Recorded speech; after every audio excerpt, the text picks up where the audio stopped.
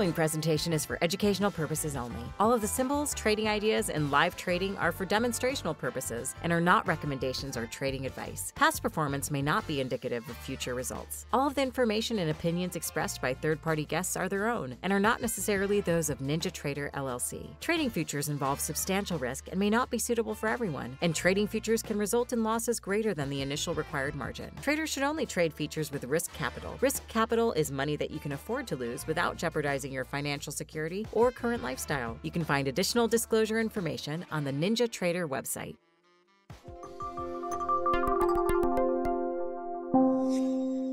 And welcome back to Ninja Trader Live. I'll be your host for this segment. I'm Tom Schneider, CMT with Ninja Trader.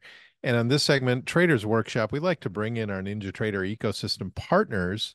Today's no different. We have a new partner, not been on Ninja Trader Live before, um, and we're happy to bring on speculator Seth. Seth, how you doing? Good. How are you doing today?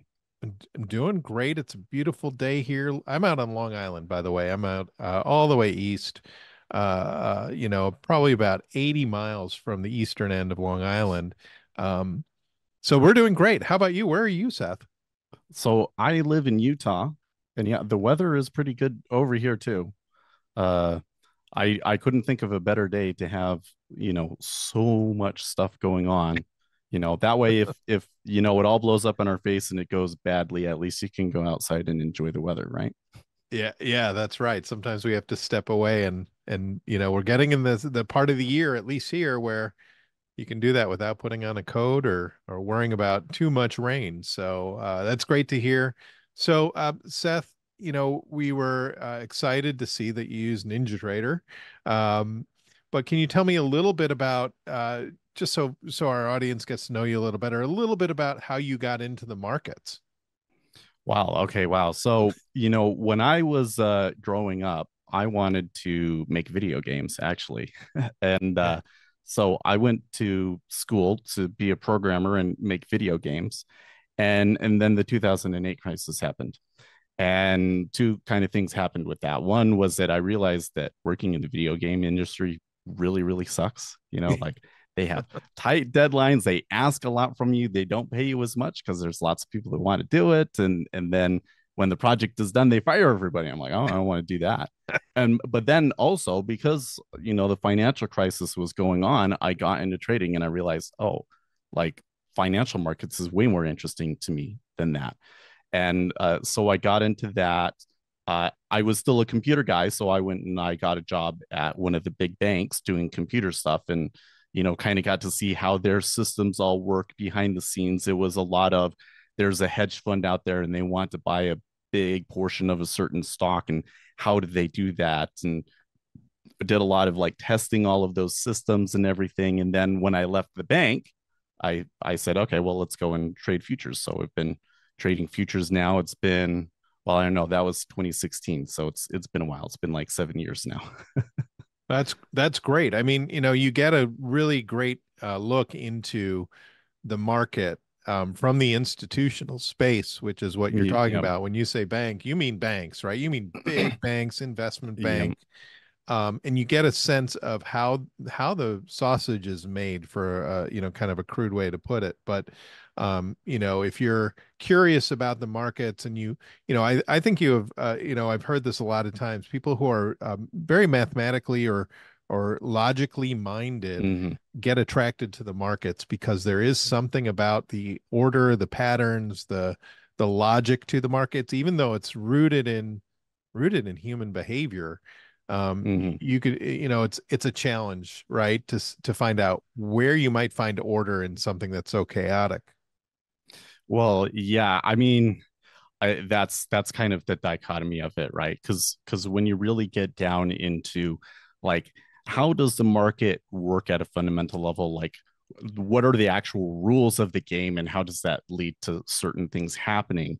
Kind of the end result that you're going to come out with is like uh, well there is a lot of math and and there are, is a lot of things that the market will do over and over and, and that we can kind of predict to some extent but it, there's also a lot of volatility because it, basically what it ends up with is every little action that people do has an effect uh, mm-hmm. you know as retail traders because we're so small we we don't think about that but the reality is it's actually a lot easier to move the market than you think and so so every even moderate sized player can come in and move things and and so there's a lot of chaos in it too and the the market doesn't always do what it's supposed to do this idea right. that like the markets are are efficient is is just simply not true not on the time frames that we're looking at and I, I think that there's kind of a beauty in the chaos too so yeah yeah for sure. Um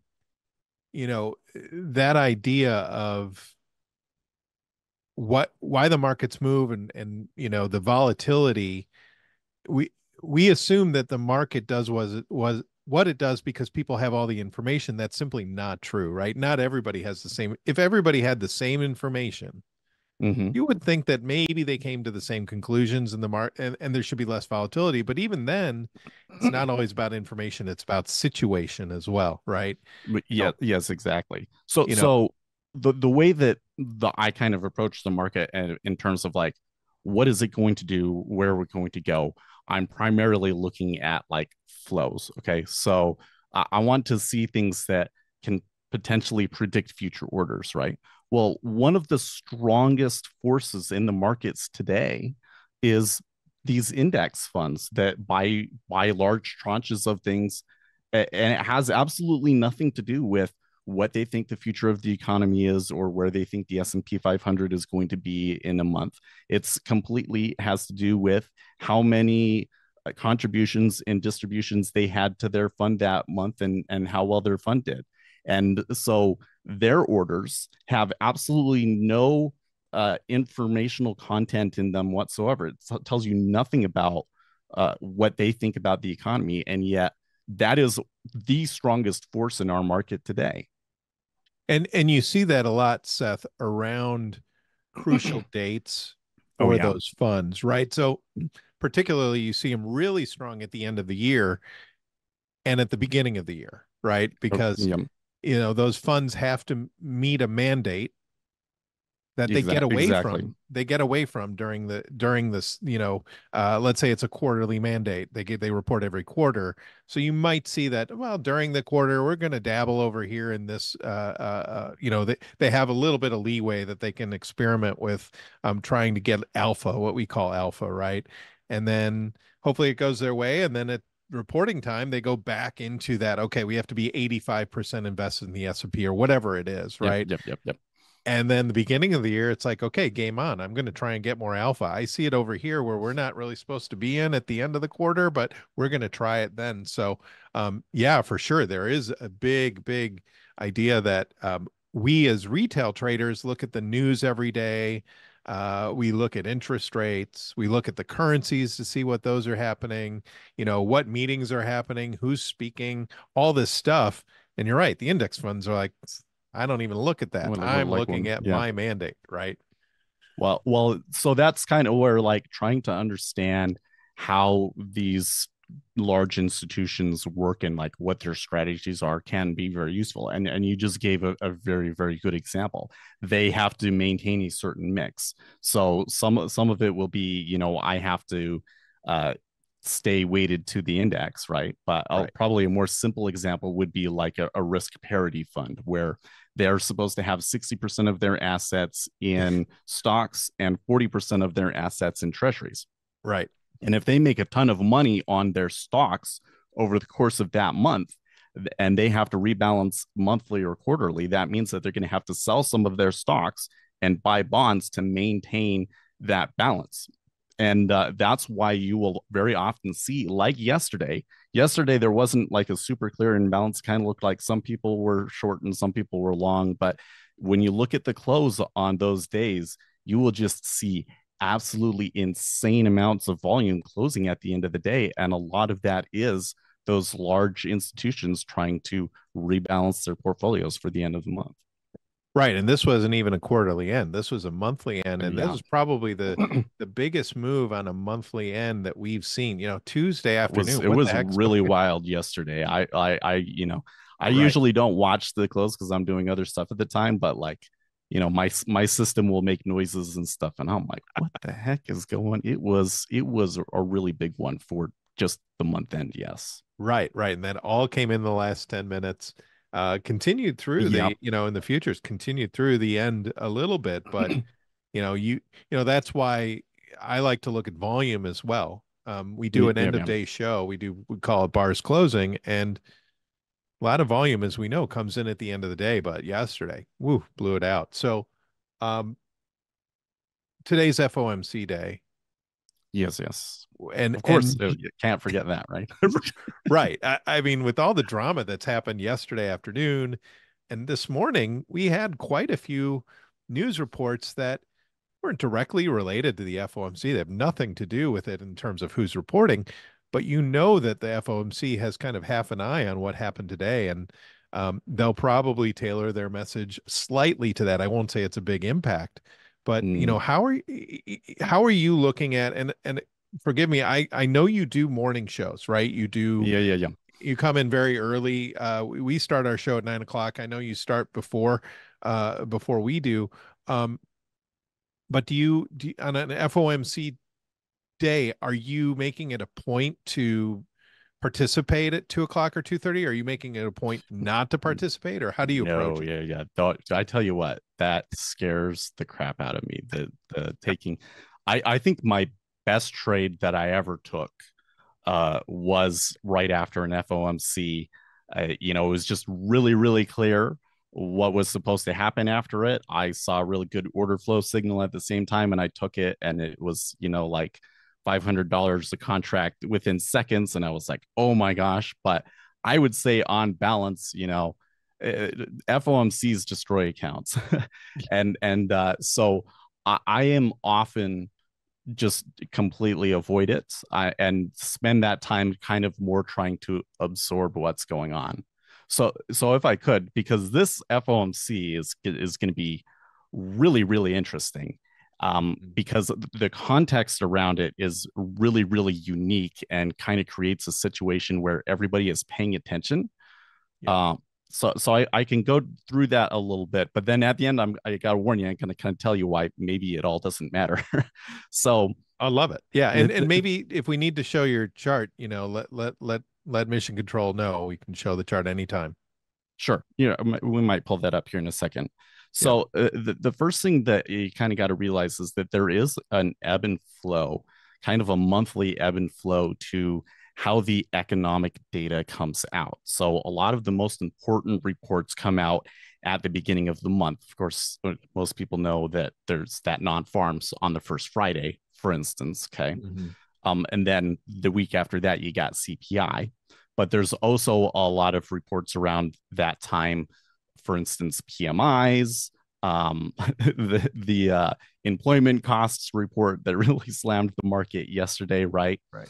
Um, another then, then there's the the FOMC cycle because that that doesn't always come in at the same time every month. It it kind of shifts, right? Because they they do it like every month and a half or something like six that. or seven weeks. Sometimes they take an extra week. You're right. Yeah, and and so um, we're in a really unique situation where oh sorry I, I was going to say another thing to keep in mind is that there's a blackout period right like we had mm-hmm. a lot of central bank speakers two weeks ago and then starting from last friday so or sorry not last friday but like two fridays ago that would be like the uh the the 19th so from the 19th FOMC speakers are not allowed to talk to the public right and in in that time we've had all of this stuff tons of stuff today, and they haven't had any chance to, to say anything about it yet.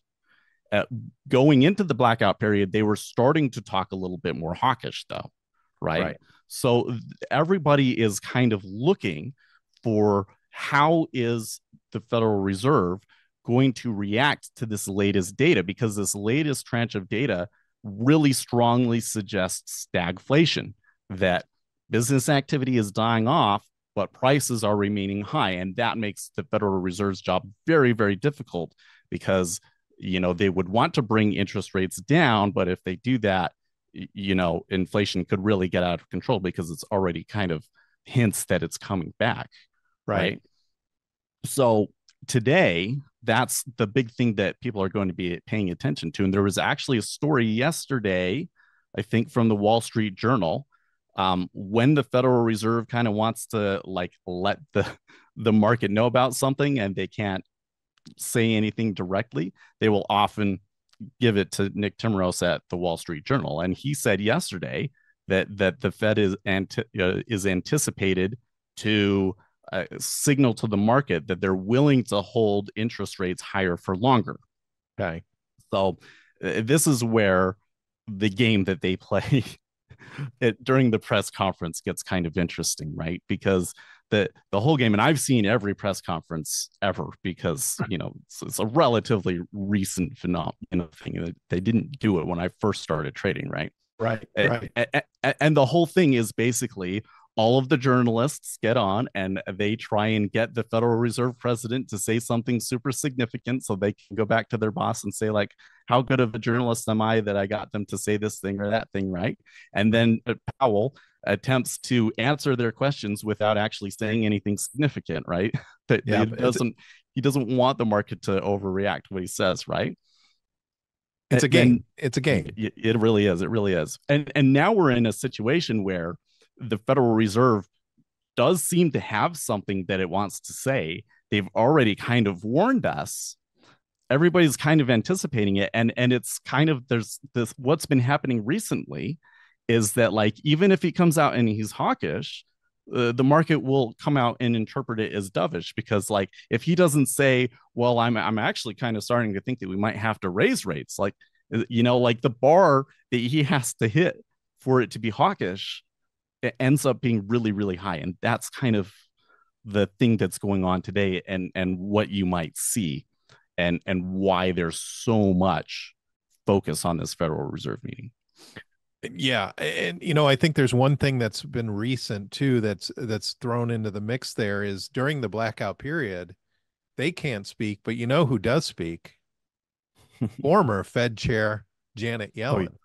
Oh, oh yeah yeah yeah yeah right? And and so i think you know what's interesting about that is that could be somewhat of a of i won't say minefield but it it might not help help the fed's case sometimes if if their if her opinion uh, differs from what what chair powell might say. And and you know i just think that's one extra thing in the mix that they that fed uh, uh powell uh fed chair powell has to deal with because she can say, you know, she can come in and she's not uh, beholden to that uh, blackout period. And um, yeah. she represents the administration more than the Fed. And so that's just another, you know, she has a voice. She has a voice having the experience she had. And I, I think that's come up, you know, the last, I don't know, three, three meetings, maybe four meetings where she's kind of said something and it might not be in line with what the Fed wants to say as well.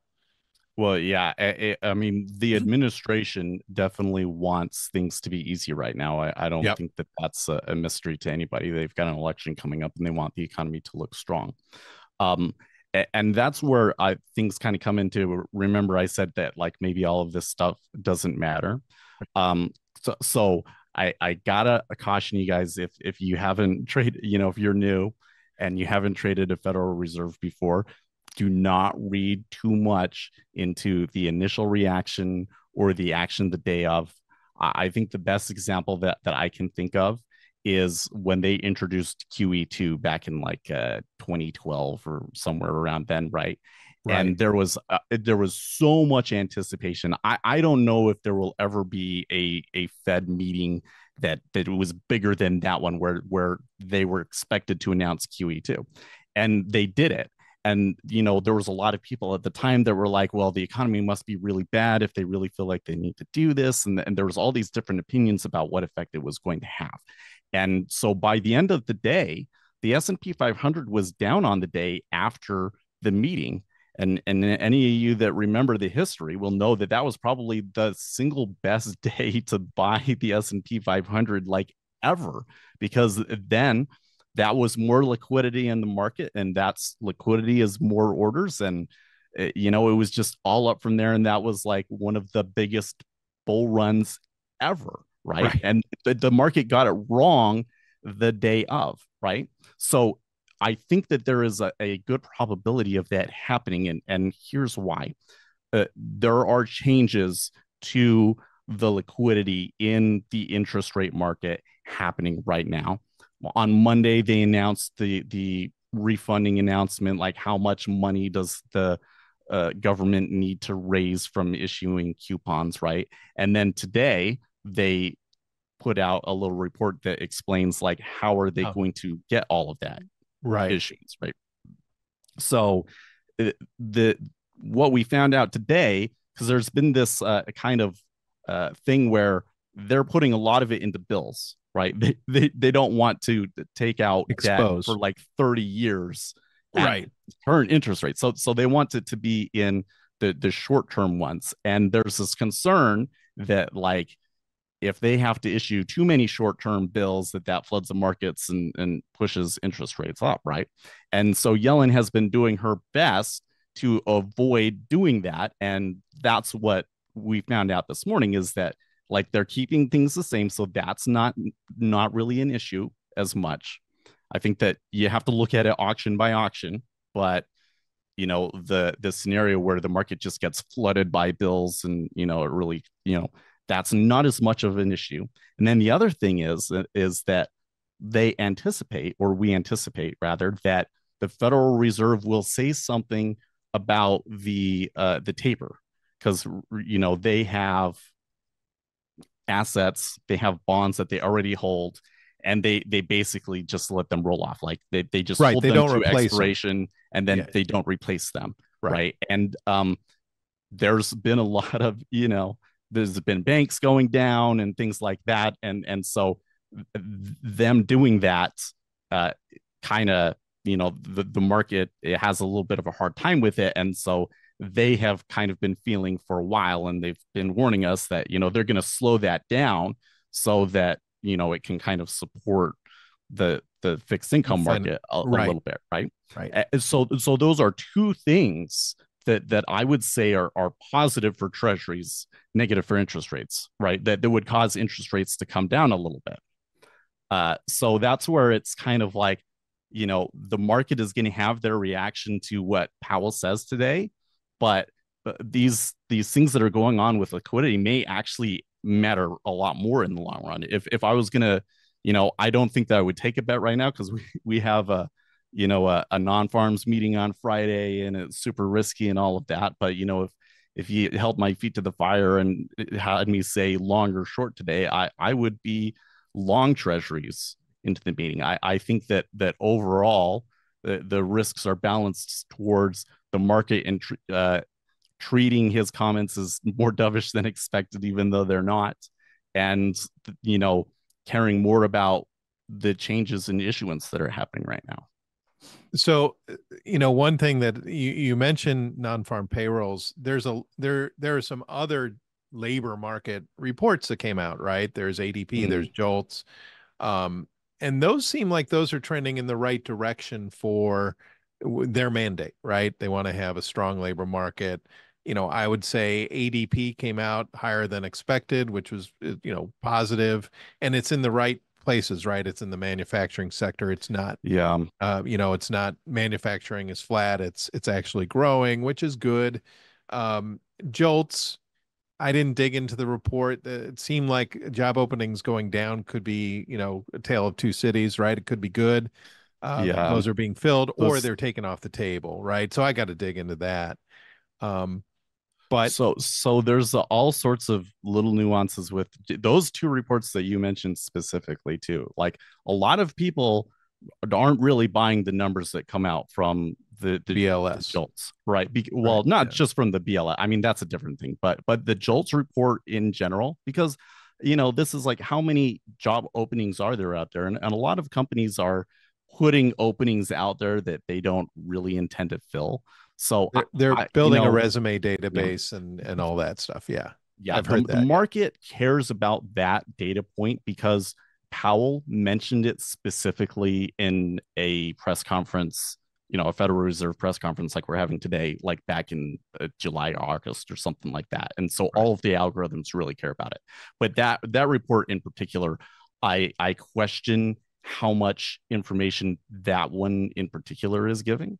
And what, what was the other one that you had mentioned? Just uh, the ADP report that came uh, out. The the ADP report is is a really good report to look at, but it has not been very indicative lately of how the non-farms are going to come out.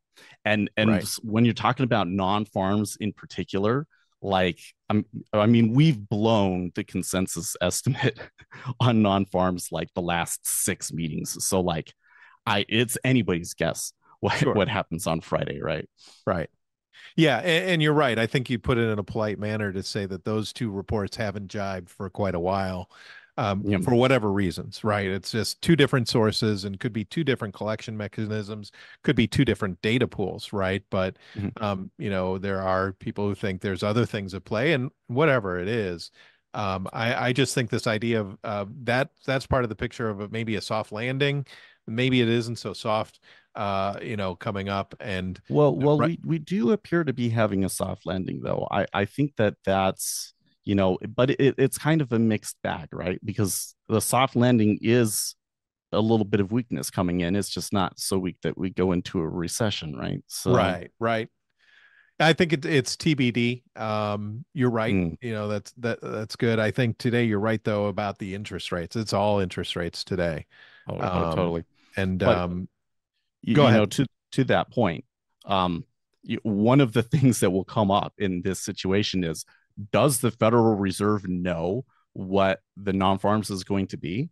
We have a lot of information in the past to suggest that in this situation, they do get it, but they always kind of play coy. I'm going to bet you that you'll see a question about that. Somebody will ask, and you know, he can't really answer it because he, he can't tell you what the report is, but right. they, they it, factor that in to what they're saying today. So. It's it'll be interesting to see if the journalists are aren't coy about it right? Is it a gotcha question or is it like they're just going to say right. do you know? Right? Um, seth we're running out of time. This was uh mm. this went by way too fast so i think we'll do it again later this week uh talking about uh, non-farm payrolls yeah, on friday. talk on friday so that, so where that's going to be crazy, yeah go ahead. so. yeah I, I it, that's going to be crazy. I, I would just one thing about that you know something that i think would be really helpful to people pay attention to those pmis because that's one of the most forward looking data points that we have so like that ism that we got today i, I think was a really big deal and and again it kind of suggests stagflation so yeah exactly exactly well we appreciate you coming on and how can people find you Okay, so uh, I'm Speculator Seth everywhere. So you can find me on my YouTube channel. I actually um, put out a video on Monday that's about momentum strategies that will help you see a lot about how the the big funds in the future space act. So if you're in the future space, I think it's a video you really want to watch. Um, just search for speculator Seth. I'm also I'm on Twitter. We have a Discord. Every, but you can find you just search for my name. Yeah, don't don't take any imitators. It's there's only one speculator Seth, and um, we're we're very lucky to have you on here. So appreciate it, and we'll see you Friday. Yeah, thank you very much. Thank you for having me on.